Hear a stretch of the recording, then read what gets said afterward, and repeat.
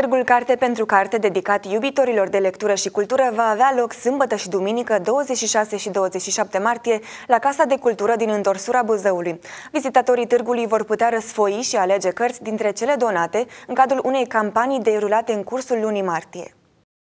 După ce au încheiat o campanie de colectare și donare de haine, grupul de tineri voluntari din întorsura Buzăului nu a stat pe gânduri și a inițiat o nouă campanie dedicată cărților. Târgul Carte pentru Carte a debutat în 8 martie, când tinerii au lansat apelul de colectare de cărți, de la literatură până la manuale școlare, reviste și așa mai departe. Este un eveniment cultural menit să ajute oamenii și să determine comunitatea să se deschidă spre nou. Activitățile ce vor avea loc sunt destinate destinate oamenilor de toate vârstele. Astfel, oricine poate veni să petreacă un weekend într-un mod non-formal, să se relaxeze și să descopere importanța unei activități în afara școlii sau a serviciului, a explicat Mircea Florea, coordonatorul evenimentului pentru portalul covasnamedia.ro. Vizitatorii târgului vor putea răsfoi și alege cărți dintre cele donate în cadrul campaniei derulate în perioada 8-25 martie, dar vor avea și posibilitatea de a participa la ateliere ateliere tematice, de a asista la momente muzicale sau de a viziona scurt metraje.